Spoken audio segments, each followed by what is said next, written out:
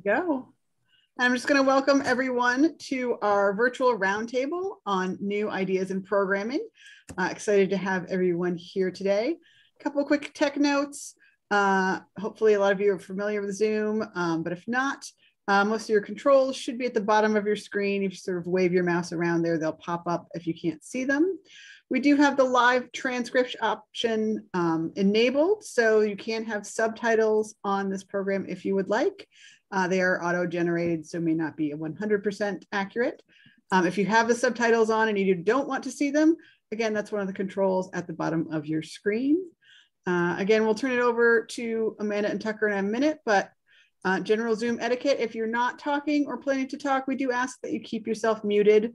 Um, and if you would like to speak, um, feel free to either use the raise the hand function um, or put something in the chat you'd like to share. Um, it's, I think right now we have enough folks to see everybody, but we may not see folks. So if you're just kind of waving um, uh, visually and we don't see you, please definitely um, try one of the other options to get to it. Uh, and this is our last of our three roundtables uh, for the winter. We're looking forward to bringing you our next program, which will be in June, which will be a cataloging workshop.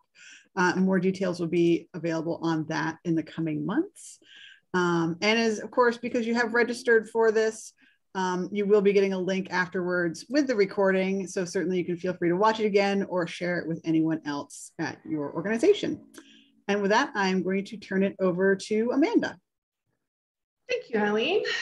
Um, it is a pleasure to virtually be here with you all today for this roundtable. Um, as Eileen said, my name is Amanda Gustin. I'm the Public Program Manager at the Vermont Historical Society, which means I cover public programming and exhibits um, for VHS.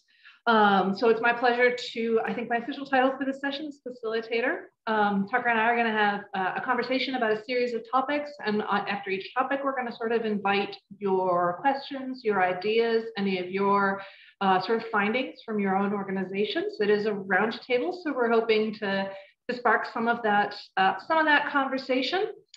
So uh, I will turn it over to, to Tucker to introduce himself, and then we'll get started on our first topic. Hi, everyone. Uh, thank you, Amanda. Thank you, Eileen, for having Rokeby Museum. Um, so uh, we're very excited to be here today, be a part of this discussion as a guest. And um, I'm the education program manager at Rokeby Museum. We're located in Ferrisburgh, Vermont, um, near Lake Champlain, a little bit south of Burlington, a little bit north of Middlebury. And uh, the history uh, spans about 200 years, four generations of um, the Robinson family. Uh, for the first two generations, they were Quakers. And um, a lot of uh, some of the valuable history here is about the Underground Railroad. We're one of the best documented sites on the Underground Railroad. Um, so we tell a lot of different stories that span a lot of different, uh, much time in, in Vermont. Um, but yeah, I'm excited to talk about kind of some new ideas that we've been doing with programming, um, what we're doing on the education side. Um, and then also we're a small museum, uh, staff of three. And so I'm the education program manager. I'm also the admin manager as well. Um, so wear different hats, different days. Um, but on the education side, I do the children's programming, teen programming, and then um, adult programming as well, adult education and uh, public programs. Uh, and, and I should also say that Tucker was an intern of mine some years ago. Yeah. Um, he's terrific. Uh, so we're, we're thrilled to have him as a colleague here in Vermont at, at Rokeby. He worked on History Expo with us some years ago. He's been great since then. Hmm. So uh, our first topic uh, is, is to sort of address the elephant in the room, which is that when Tucker and I were sort of bouncing ideas back and forth to this roundtable, um, we wanted to start with sort of lessons learned from COVID um, and, and how programming had to change very quickly. I and I were just saying this is the two year anniversary of, of the Vermont Historical Society shutting down and going remote uh, today. And uh, so, how things evolved during COVID, how programming changed, and sort of what lessons have we learned, and, and how do we expect to, in theory, exit or move forward uh, with, with programming um, post COVID. And I should also clarify that my perspective at VHS is uh, is generally um, adult and and public uh, general public programming. Um, so I personally will not uh, be addressing the VHS education programming. That's my colleagues.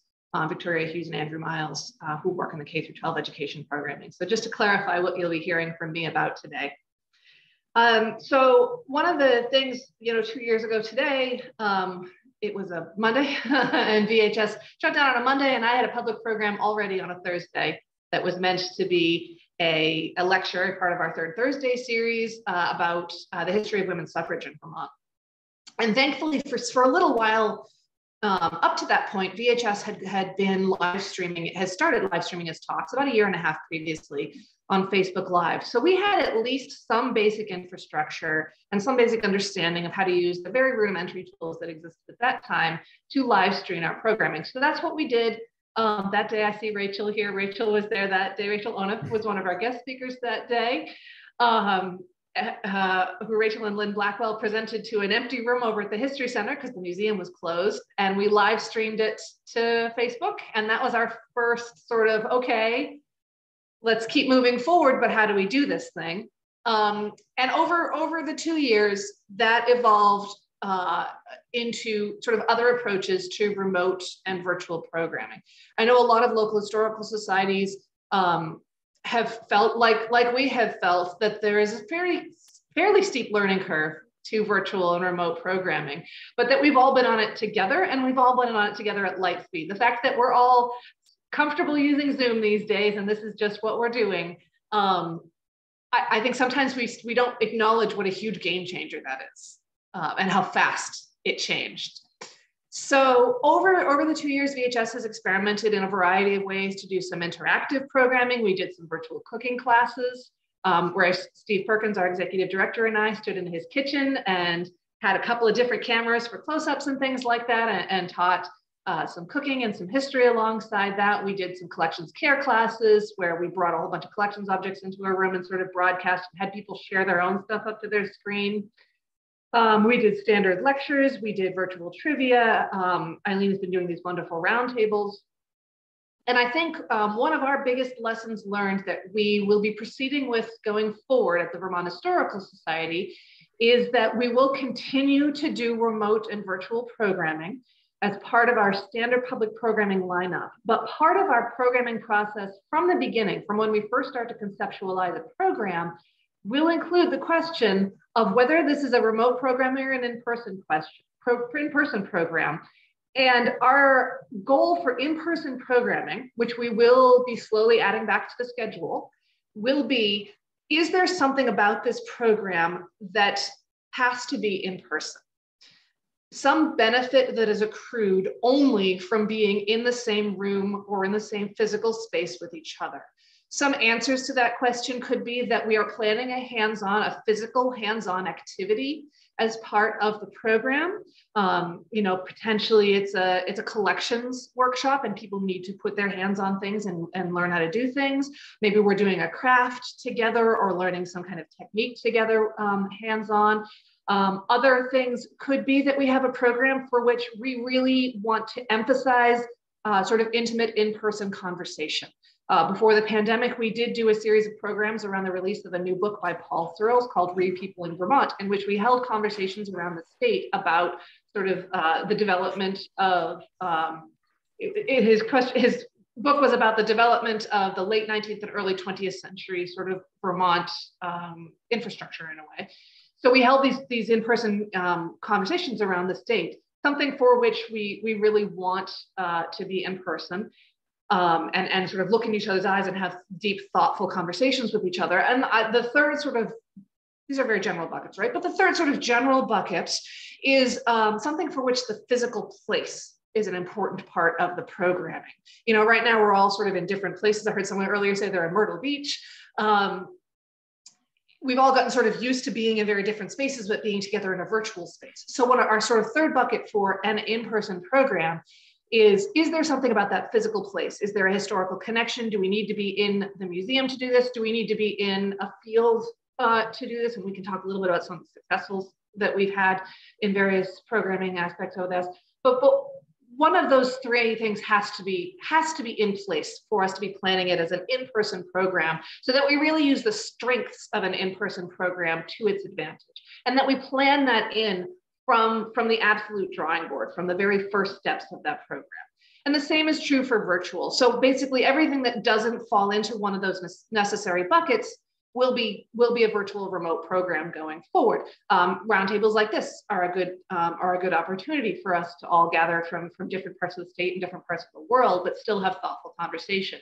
Um, lectures uh, and use the strengths of virtual programming to do that, something like this. Lectures for us, um, we have reoriented what was a traditional in-person lecture series to what we're calling a winter speaker series. So we're capitalizing on it being miserable to drive in winter and month season.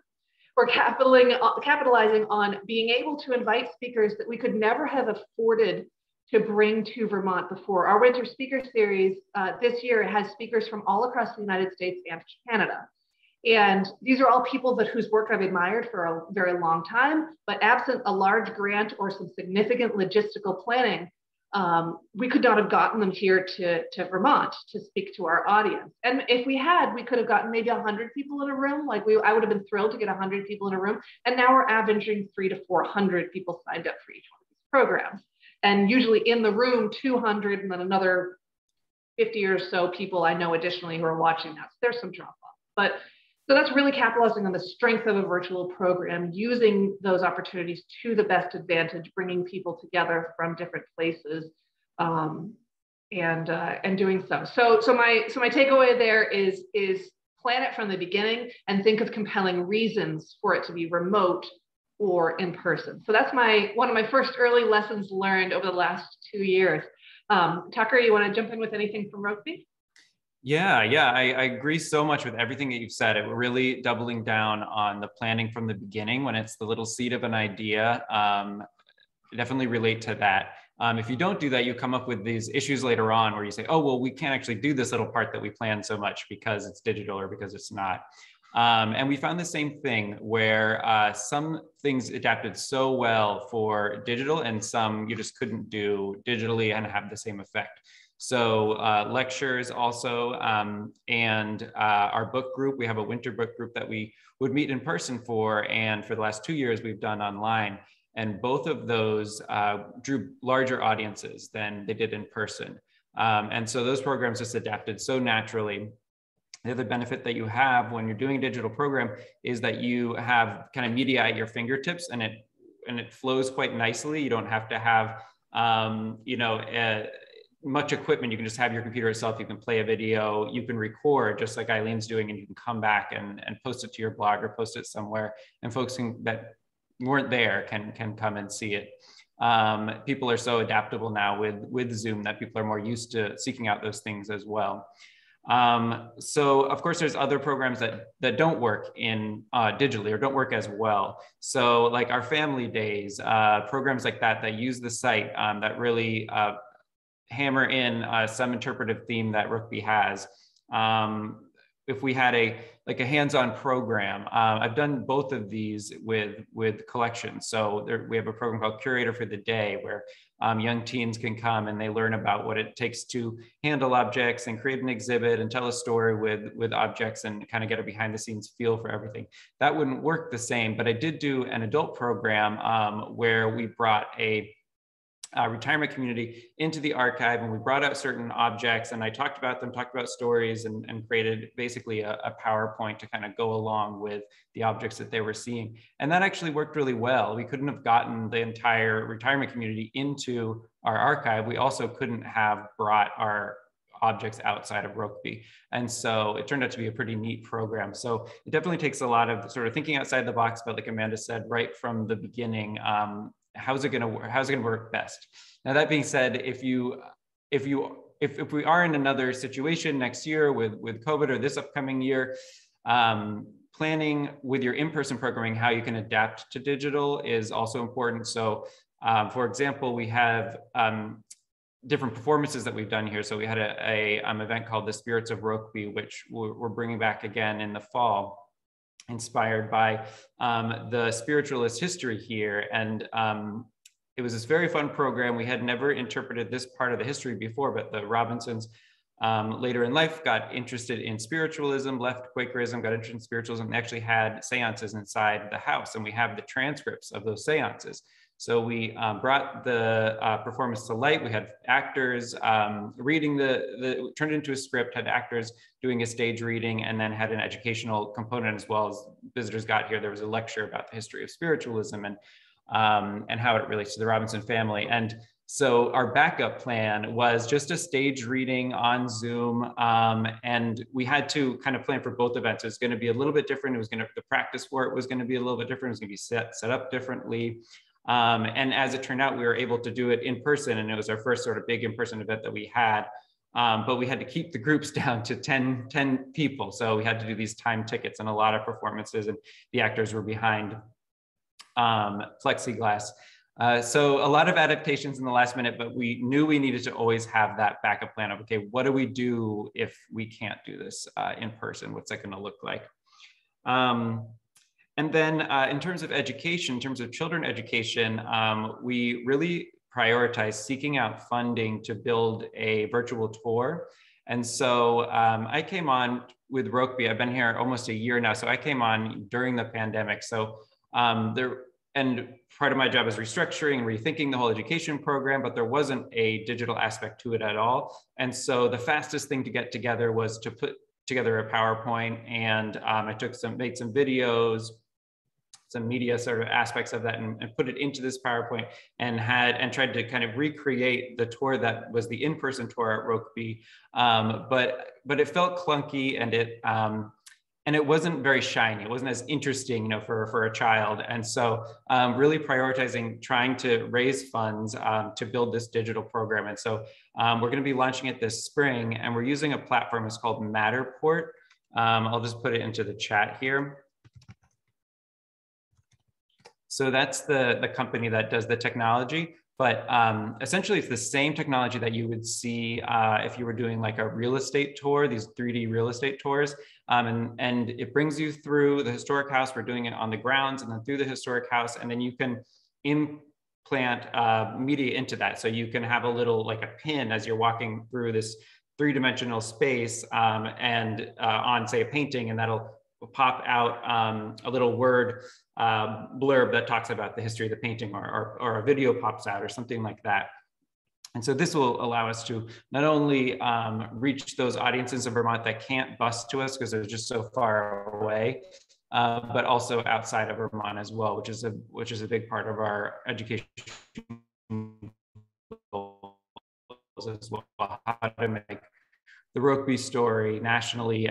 Um, so so those are uh, some of the things that we that we found, um, and then sort of like some very practical things I wanted to hear, kind of like practical lessons learned. Um, was one of them is the early identification, which we've talked a lot about, and then um, another one is like with digital tickets, and this doesn't necessarily have to do with just um, virtual programming, also programming in person. But um, if the event is ticketed, using a digital ticketing system was something that we decided to do. It costs money, you know, the, like um, Eventbrite would be one that you could use or Square if you use a Square at your site to, for the gift shop or something like that. They have a site called Square Site um, where people can buy tickets online. Um, but essentially, um, there's a lot of uh, flakiness, you know, today and in this day and age, people, um, if they don't, if they don't buy a ticket, then day of the weather is bad or, or this sort of thing, and there's not as much of a, um, a reason to do it. But if you if you're planning ahead, if you bought a ticket, then there's more of sort of a follow through. So that was um, one of the reasons. Of course, there's another side to that as well. Um, you know, a free event or something that you often do want to keep just very uh, easily accessible and um, people can make a last minute decision like this event. That also has a valuable place as well. But we kind of decided to make the jump to do digital ticketing rather than having folks call in uh, the museum and, and buy a ticket or or buy a ticket in person. Um, and it's, it's, it's worked out a lot. Um, it seems to be worth the, the cut that the company makes. Um, another another um, lesson learned is sending the Zoom link uh, last minute. Um, and so being day of or uh, the day before and two things that helps uh, people that are going to be attending the digital event it helps to kind of like put it at the top of their inbox so they can easily find it and then it also helps so that if any it just decreases the um, the chance that hackers will come into the into the uh, the meeting, and then um, the other part is planning for administration. So that's during the Zoom meeting or during the digital meeting. That's exactly what Eileen did at the beginning, introducing everyone, letting everyone know how it goes. You know, this is a pretty typical thing for those that have been part of a Zoom meeting, but then also having another, per if you are the presenter, having another person that's taking care of kind of the back end of the administration. So they're uh, answering the chat or, or collecting the questions, they're muting people if they're unmuting themselves um, that sort of thing. So it's really helpful if you're the presenter to not be playing the role of the admin person as well. Okay, so those are some sort of practical lessons that we learned this year in our in uh, our digital programs. I'll, I'll follow up just very briefly on that on a couple of VHS perspectives. Um, one of the ways that so for about the first half of the of COVID the pandemic, we um, we did the same thing. We always had second person in to to play whack a mole with muting or answer questions in the chat and things like that.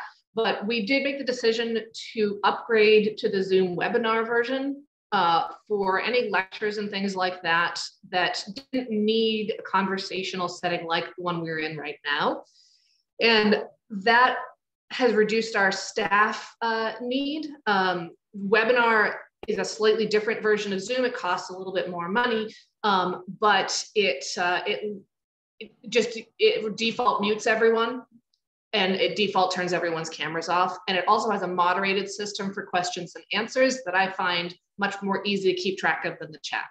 So that has reduced our staff need to, um, to handle the, the lecture style programs. That means it's just me um, in that.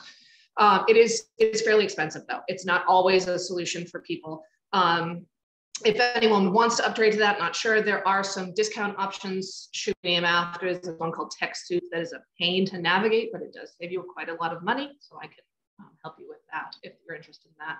Um, and and totally, totally agree with Tucker's comment about either making the Zoom public. Um, VHS, I'm going to find some wood to knock on, has not had problems with Zoom bombing. Um, so that's worked out well for us. Obviously, at other organizations, um, town and municipal governments have, um, but we are generally a little bit freer with our Zoom links. Um, but totally, totally agree on that day of. Usually, what I do is uh, a week before and day of send a reminder with the Zoom link to people.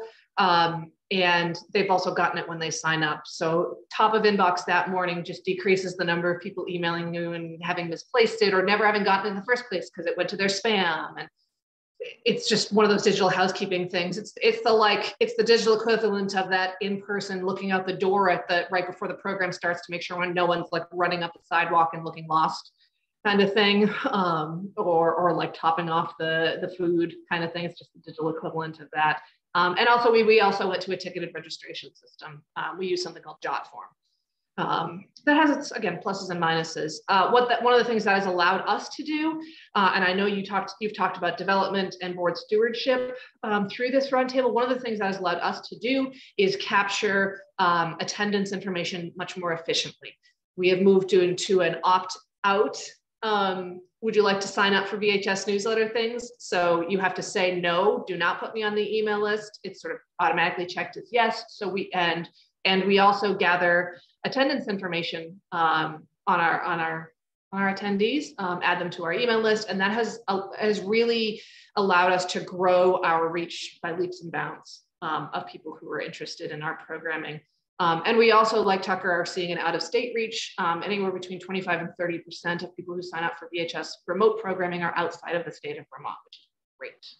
So does anyone have, we're meant to be roundtabling it, does anyone have any um, questions about anything that Tucker or I just said? Any experiences from your own um, forays into digital programming that you want to share with the group or anything you want to seek advice from, for the, from the group?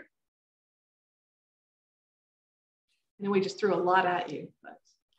I'll just reply about Zoom and, and say our membership has shot up because of using Zoom. We just finished a program with 400 people, most of them residents from the community. but we, um, I've experienced both webinars and the regular Zoom over the course of the past two years.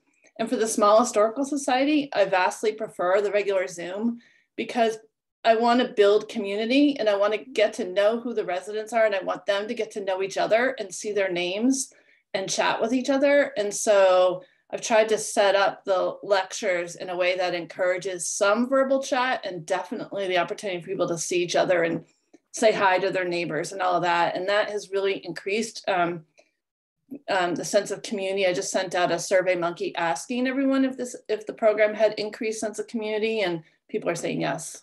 Hmm. Yeah, I, there, that is definitely a drawback to the webinar is that it does effectively cut off sort of what we're doing right now, looking at each other's faces and having that conversation. That's a calculation that we made for our, where we really only use it for the lecture style programs where I just could not mute 300 people fast enough. Oh yeah, you know, it's it's a difference between you know a small local historical society and um, I'm really good at mute all of hitting that button. I can tell you. Uh, that was not an option early on, and I just got yeah yeah. So it, yeah, it's definitely a thing. There was a quick question in the chat too, and then Nancy will will yours. But the question in the chat was whether we're planning on any hybrid programming. VHS is not, um, and that's part of what we we have been thinking a lot about. Is that the ways in which we are structuring our programming, and, and, as we said, we're planning from day one, virtual or in person. A lot of the ways in which we're structuring and planning that make hybrid to be the worst of both worlds for the programs that we are designing. Um, it's, it's tricky and difficult to get good quality in both formats for a hybrid presentation.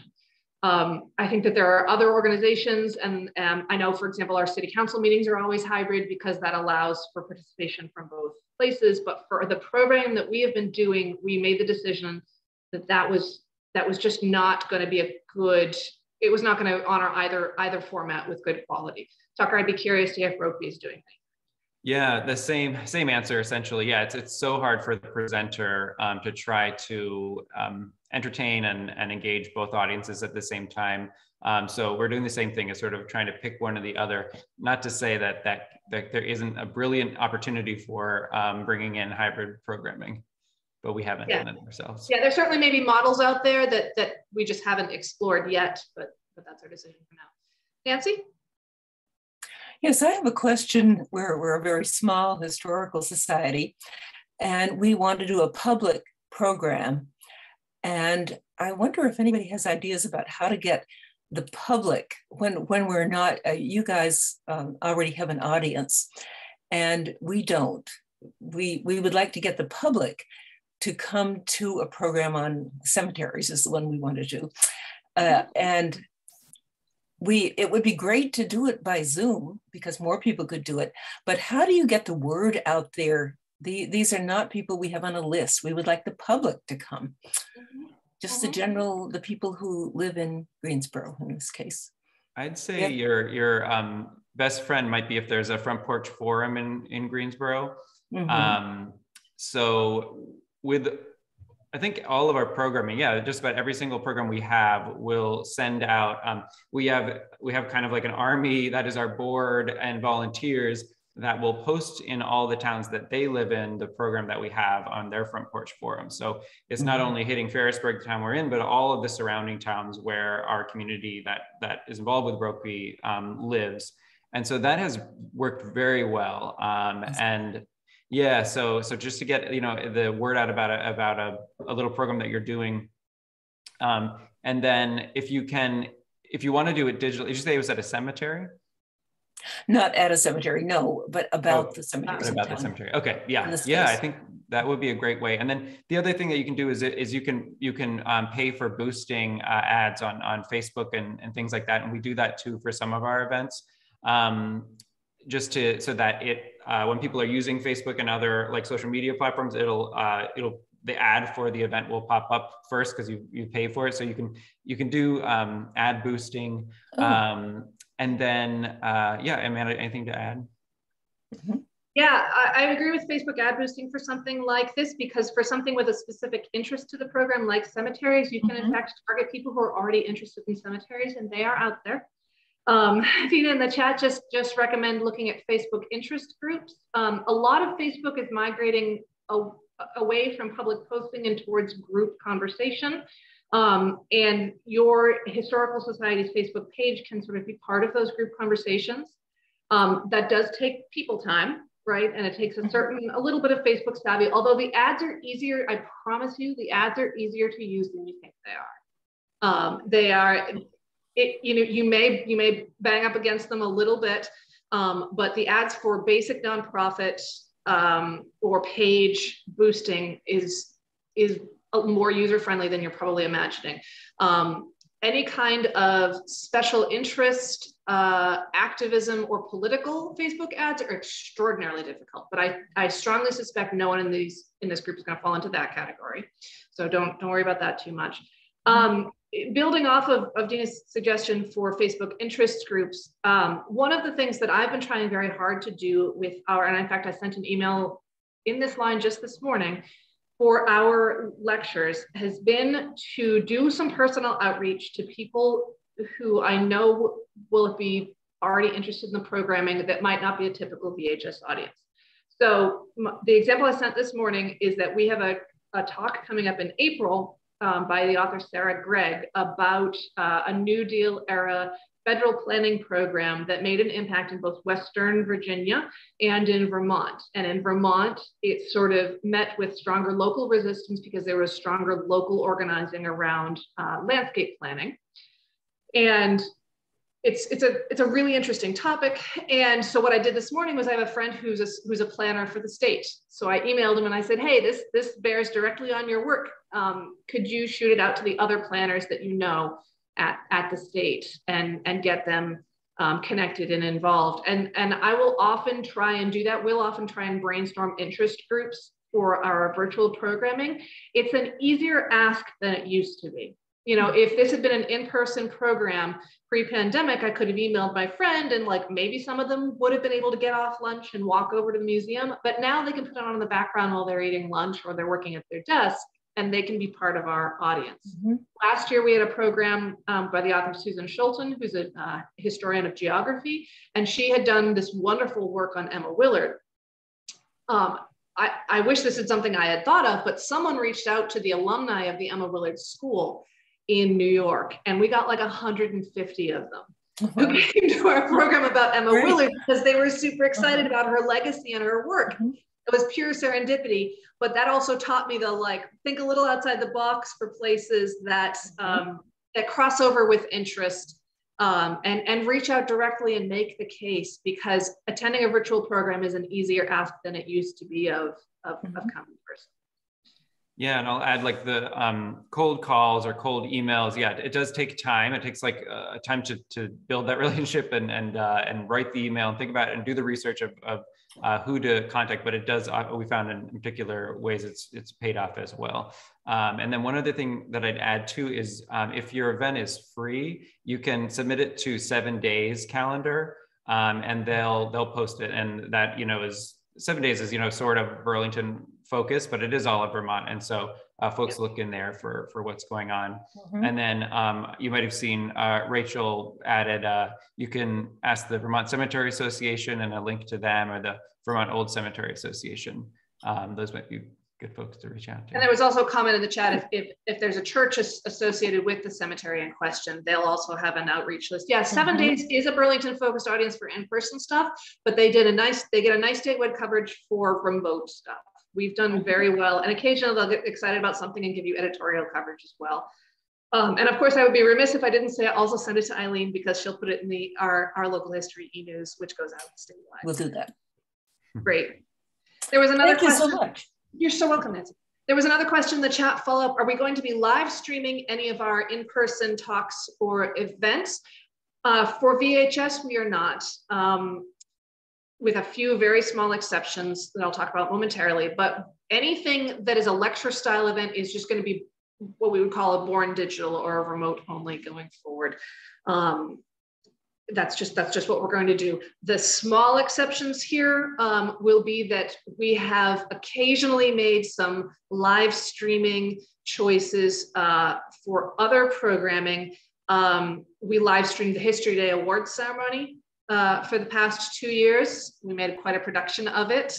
Um, I don't know if that was, it was, we filmed it out of a space, but we were in an empty room. So I don't know that it's a, it's a true live streaming in the sense of we had an audience in the room at the same time, but we did set that up for live streaming. We did a little bit the same thing with our annual meeting um, in that we sort of live streamed a series of speakers at a podium, but we also brought in a remote speaker for that. Um, we may make some very specific choices for that going forward in the future, but I would expect and anticipate they will be live streamed versions of uh, a speaker in person, but not necessarily an audience, if that makes sense. It will still be an essentially born digital program.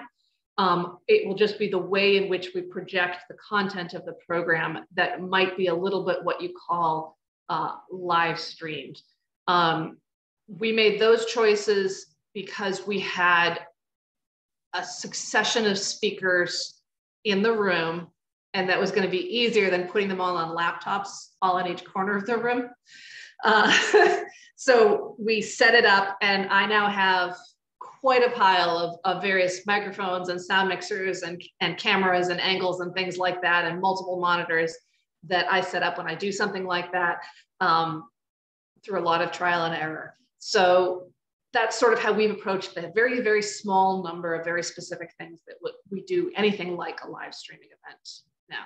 Tucker? I don't know if you have anything for um, A nice, easy way to live stream is using Facebook also, um, and then it lives on perpetually. So if you have an event like like um, Reading Frederick Douglass is now an annual event that we're doing at Rokeby, and we live stream that, for example, um, and it it's reading uh, his famous speech, July 5th speech, and um, community members are coming up one by one and reading a paragraph or so of it. And then we had a, um, a roundtable discussion afterwards. Um, and something like that worked really well, um, where folks that couldn't come, they can they can um, see it, and then it also kind of shows what you're doing at your uh, site. Um, as folks find your Facebook, uh, they say, "What's this?" and they might just watch a couple of minutes of it, but at least they kind of get a sense of the programming that you're offering. So that's a cheap, easy way to do it is just set up your, it, we just used our phone, just set up your phone on a tripod and, um, or just in your hand and uh, just live stream it. Yeah, and that, um, as a heads up on that, it will tell all of your followers that you're live streaming. So it'll kick it right up to the top of their feed. So you'll get some extra eyes and extra attention when you are live streaming on Facebook. So that's one thing to think about. There is a fairly significant lag between what you are streaming and what appears on Facebook. Whenever we have done that, um, that's an area where we do absolutely have a second person monitoring comments and monitoring what's happening on the Facebook page to make sure nothing's going wrong there. Um, we've switched over to live streaming when we do something like that, and that's what we did for, for annual meeting and for um, History Day award ceremony. We tend to go to YouTube uh, instead.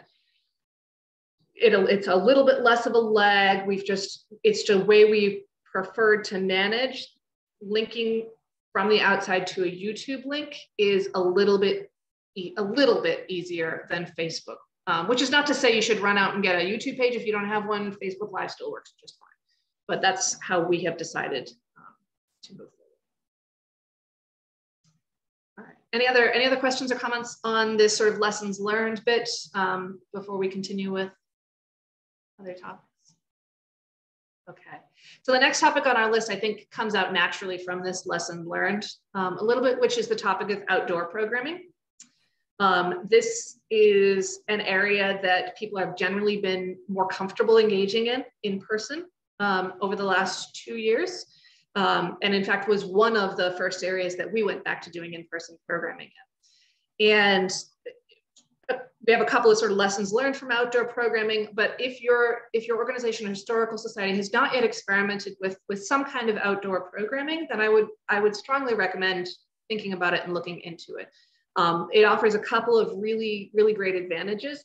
Um, one is that it can draw that different audience um, people are a little more excited about maybe walking around a space, doing some hiking, being in a physical outdoor space than maybe they are sitting in a function room in a historical society. It's just a different, different brain mindset kind of thing. So it can present a, a different audience. Uh, one is that it's it's easier for people who are nervous about COVID right now to attend an outdoor program. Um, I'm, I'm not a scientist, but my understanding is that scientifically it could be considered a little safer for people who are still being extremely cautious. Um, and that's the tack we have, we have taken as well. Um, and for us as a state historical society, one of our big sort of tensions in our programming is doing an in-person programming in one specific place while being still being the historical society of the entire state of Vermont. That's not as much a, tension a lot of you have being uh, a little bit more place-based organizations, but it is for us. And one of the things that outdoor programming has allowed us is doing some place-based programming in different parts of the state. Um, so last summer we did a couple of, um, of hikes with, uh, in partnership with local historical societies on the trails of the hunts of the last few catamounts in the state of Vermont. We went to fields or into the woods and traced the paths of, of these hunts. Um, and told the stories of them, told the background and the history of the catamount. This ties in with our exhibit right now on the catamount in Vermont. Um, Ellen, Ellen Kletterberg from the um, Weathersfield Historical Society just left, but we had a terrific, terrific event with Weathersfield. Um, and we also had a um, terrific event with Barnard as well. And they both did a, just a spectacular job of planning those events. Um, and and they were extremely well attended with tons of people that that were not previously connected to the either the historical society the vermont historical society or the local historical society. Um, so i would strongly recommend uh, reaching out to either of those two historical societies. I think they did just an absolutely bang up job on them and that's some of, we are looking to do the same thing this summer. Our next uh, upcoming ex exhibition is going to be on James Wilson and his globes and more generally the idea of globes and maps in Vermont history. So uh, we are working on a partnership with the Vermont Society of Land Surveyors to do place-based geography programming around the state of Vermont. They're going to bring surveying tools and teach how surveying would have been done uh, over centuries of surveying, super excited for it. We're hopefully going to go to some of the gores in Vermont and talk about like what is a gore, why is a gore, how is a gore, um, and the surveying challenges of that. Um, and uh, and so that's an, that's an opportunity for us to get out, go to a field, do some hands-on stuff. Again, that that imperative that we talked about earlier of in-person programming, having uh, that hits two of our buckets for us, right? It gets an, an hands-on component and gets a place-based history um, component for us. Uh, and it gets us out and about to different parts of the state. That's not just um, our physical spaces in Barre and Montpelier. So I know that Tucker and Rokeby have also been doing some really cool outdoor programming. That's really interesting to hear about, Amanda, especially, you know, thinking about, okay, if you don't have the outdoor space, okay, well, uh, VHS can bring our expertise at two partnerships with others that have these spaces and what can we do outside of VHS? That's interesting. The, the pandemic had to we had to do so much improvising so many institutions you know okay let's just think on our feet but it creates all this creativity. So it's interesting to hear about. Um, so you know a kind of similar vein we now here we do have the outdoor space. So there's 90 acres here and um, the historic house and then surrounding the historic house are farm buildings seven farm buildings and then like the agricultural historic grounds.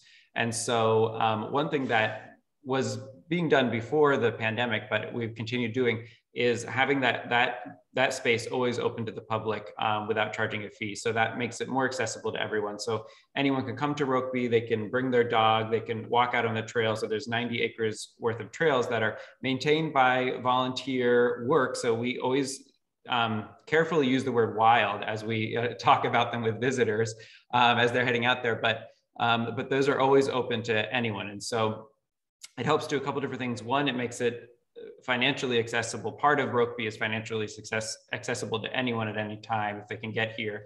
Um, you pay when you pay admission, you you get admission into the exhibits and uh, and the tour of the historic house, um, but the rest is all open. And so there's all those seven farm buildings I talked about. Those are all open. They have signage in them as well that you, people can wander around.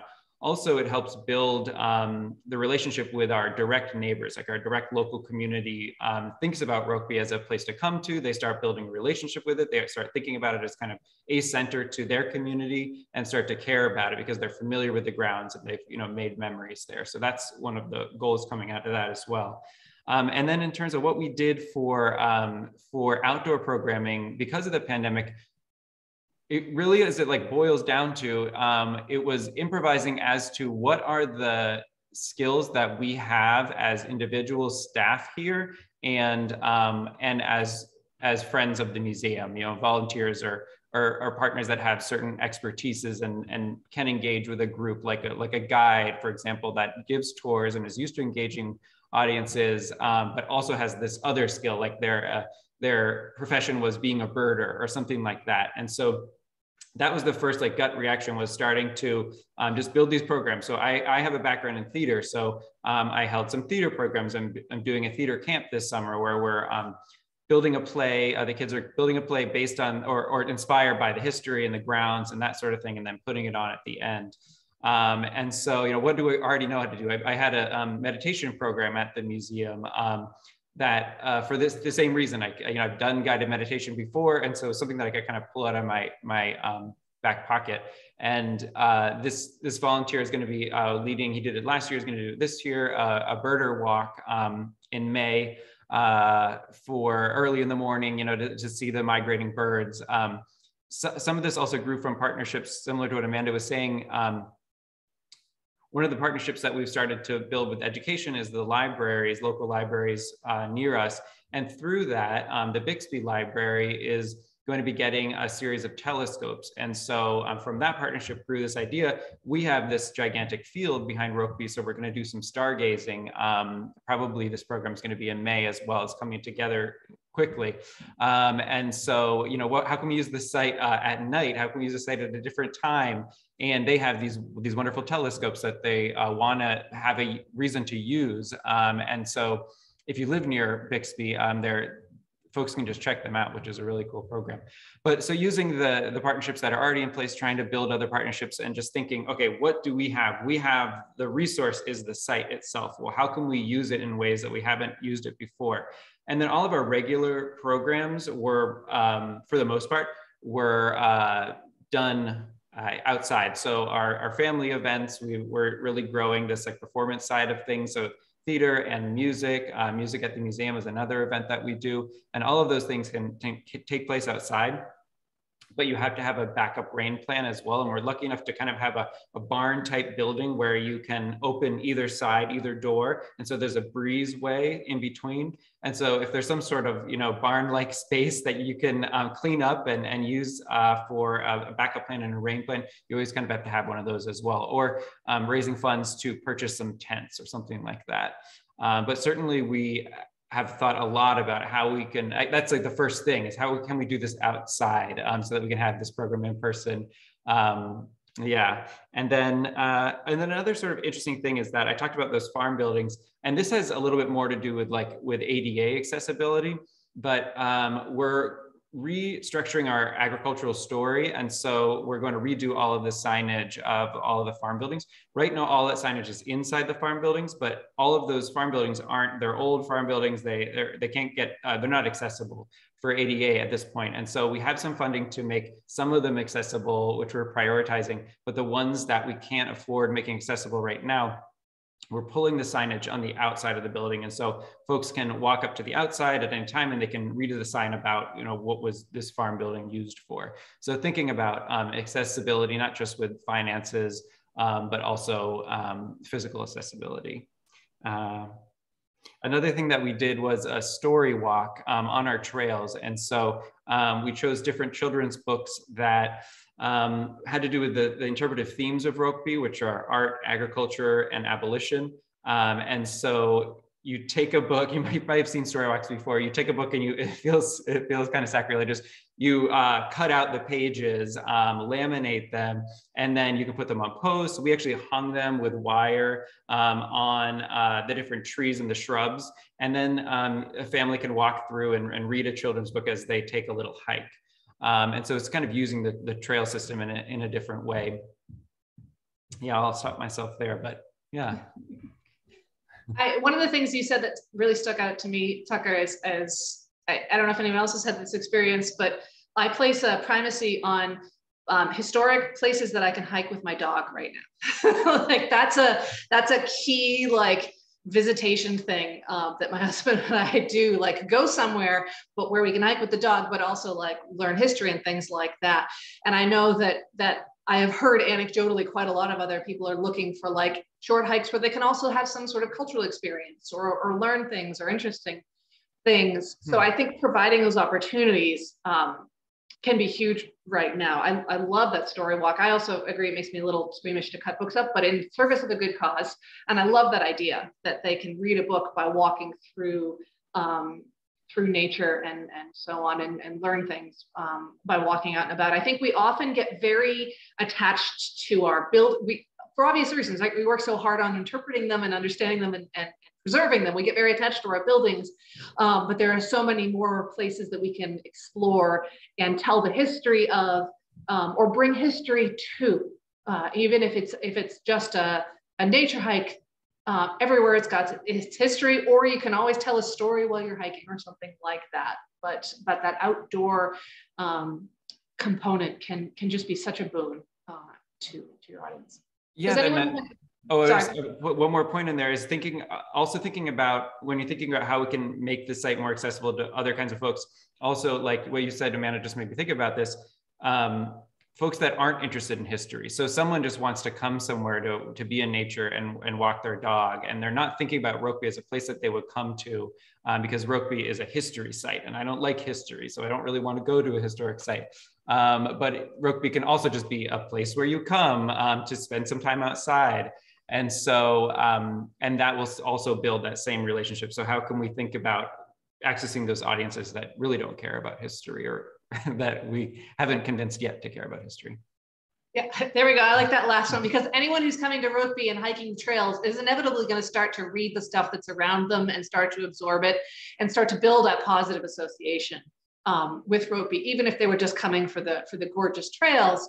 Um, they're also soaking up a bit of that cultural landscape and, and learning and, and making those connections for sure. Anyone have any, any questions or comments or thoughts? Um, any Anyone been doing any outdoor programming with your organization um, or, or questions about how we've been handling it?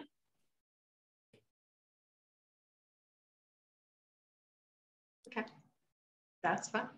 Well, I would encourage you to, to think about it. Um, oh, oh, yeah, Sarah, Sarah, so Sarah Rooker in the chat has left one of my favorite sort of clever um, outdoor, I guess, ish programs. Do you want to talk about it, Sarah? I would love to. Uh, sure. We did this last uh, spring and we're going to repeat repeat it this fall. We picked, um, so we designed a tour to replace our house and garden tour as a fundraiser. And the uh, tour included the four farm stands in Norwich, as well as three or four, I can't remember, historic farms in the town. And we made basically just foam core exhibits of old photos of the farms, you know, with labels. So you could drive from farm to farm and read the history of the farm and also stop and pick up food at the farm stands. Um, we offered it to bicyclists too, and we had a lot of young people. Well, actually, we had a lot of people in general. I mean, we had a lot of people with e-bikes in particular, and in the end, we ended up partnering with a local e-bike rental place so people could rent an e-bike. And they did the whole, you know, they biked the whole thing even way up into the hills. Um, it was a good fundraiser, and we ended up with younger people and joining the uh, museum. So it was fun. And we're, we're going to repeat the exact same thing Columbus Day weekend because, well, foliage, apples, cider. Yeah. More interesting food than there was in June. And I think we'll get an even bigger crowd, even if it's a complete repeat. Yeah. That's brilliant. You got food, you have history, and you have biking. it's checking a lot of boxes for people's interests. We did a little podcast too, so you could stop and listen to to st some stories. So there was a lot to it. And I wanted to repeat it because it was so much work. yeah. Yeah. Yeah. I, I love the, the way that brings so many things together though. Nancy? Oh, you're muted, Nancy. Yeah, in, in Greensboro, we have two villages and we have um, history explorer walks. And in front of the, our historical sites, or maybe not, buildings that we know are historical, we, we have set up um, for, for two summers now, uh, just in front of the building, we have a picture of the way it used to be with a short history of it. And that seems people can do it on their own. We did it because of COVID and it, it's been very successful. Another thing that we did on our trails is um, we have an interpretive map uh, that was made, and then there's um, posts with numbers throughout one of the trails, and the map tells stories about the history of the farm. Um, and that can be adapted in all sorts of different ways. And we, we sell it um, for $2 uh, that you can just come to Rokeby. You don't have to go to the, the um, exhibits if you don't want, you can um, walk out on the trails and just kind of walk them uh, for free. But then also you could have this kind of enhanced experience by um, having this the interpretive history, the history of the site as you go through. But it's pretty easy. You know, it takes a long time to put together, to do the research, to do the history, to put it into um, a nice format, um, and then print it. But then once you have it, we've had it for years and years, and um, and it's a, just a whole new way to sort of engage folks. So um, you can also do something as simply as that if you don't if you don't have the funding or you don't want to put the funding towards like building signs um, putting it on paper but having these posts or these numbers throughout that people can find as they go and of course there's digital versions of that with mobile apps as well yeah. Yeah. I, I, am a big advocate though of just doing it the old fashioned, um, low tech way.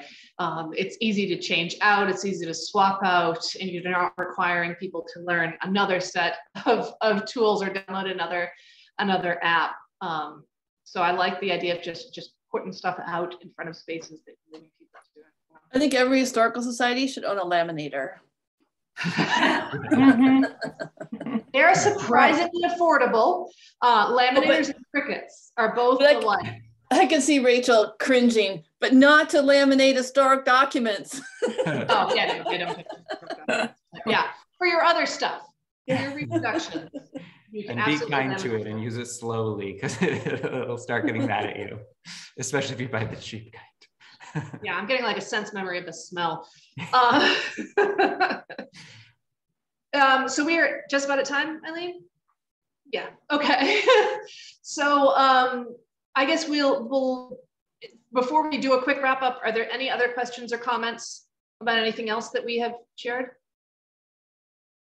Okay. Tucker, I'll make you go first um, with a with any one or two like final lessons that you want people to to go take away today. Sure, sure. Um, I think being creative is a, is a big one. Um, thinking outside, using this this uh, opportunity to think outside the box can bring all sorts of interesting things out and bring all sorts of new ideas. Um, partnering is is huge. Thinking about how um, other institutions who you can you know bring both institutions up uh, by by partnering together, using the the skills and the expertise that certain people have, and um, seeing if they're interested in, in, doing something with your program. It takes so much time: the networking, the the emailing, the talking, the um, going down rabbit holes that lead to nowhere will definitely take time. But um, it is really worth it in the long run. And then and then you know more folks that are more associated with the museum or historic site.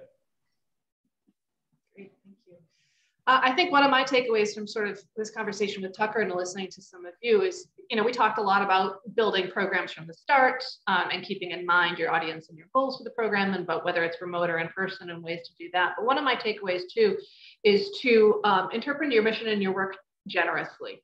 Uh, and by that, I mean, don't just do programming on anything and everything, but you heard Tucker list off a lot of, uh, a lot of really great ideas that, that do come out of the mission of Rokeby and do come out of the, the Robinson family and the ideas of the Robinson family, but are not necessarily what you might call a typical program for an historic site um, or museum, but have been extremely successful and are thoughtful. Uh, I was struck a little bit by that um, with with what Sarah was talking about too, with that extremely successful tour where they sent people around, like, oh, why are we just going to local restaurants? What does that have to do with our local society? It's it's about community and it's about building experiences for people and making connections um, with history, even if it isn't like they must come away from this having learned that this mill was built in this year.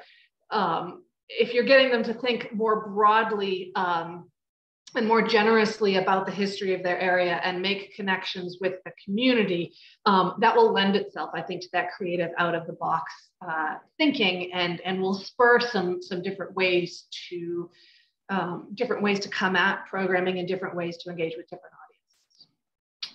So that's going to be my takeaway. Um, Eileen, any any takeaways from you, or you want to send us out? Uh, no, I think that's again what I what I love about again having to sort of rethink and redo some some stuff, and I know it's been difficult for a lot of smaller organizations, especially, but is that idea of thinking about yourselves as community organizations and what that means in a broader sense, and and sometimes you're just you you can be a, an asset in ways that you didn't think possible, and then you can you can hopefully then gather them around and get them into your programming, get them into your your community, get them on the board, get them helping volunteering. Um, and so all these little bits and pieces can really add up, I think, as you as you go along. Um, and I think again, you know, one thing we didn't talk about, but I think to me, one of the takeaways we have a little bit is is calendaring up the ways in which we approach things. So depending on your site, you know, outdoor programming might be different in the winter than in the spring or summer. You might have cross country or snowshoe trails available, or you might be only like people can only walk the grounds in the summer, or we have great gardens. You know, for us, again, doing a lot of virtual programming over the winter, as Amanda noted, um, because nobody wants to drive when it's snowing, or half the state is in Florida or Myrtle Beach or wherever they're at.